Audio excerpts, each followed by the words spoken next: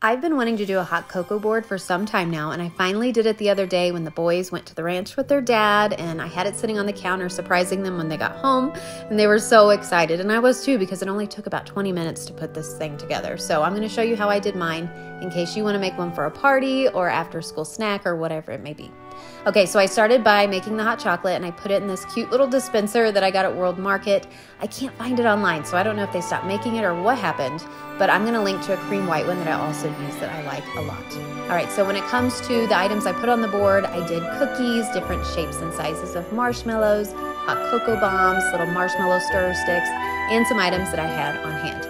Now here's a tip when you're making a board like this, keep in mind the color scheme. So for this one, I did different colors of brown and white, and it just makes it really easy to kind of style a board and make things look cohesive.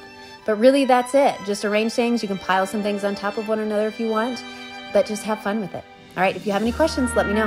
Enjoy.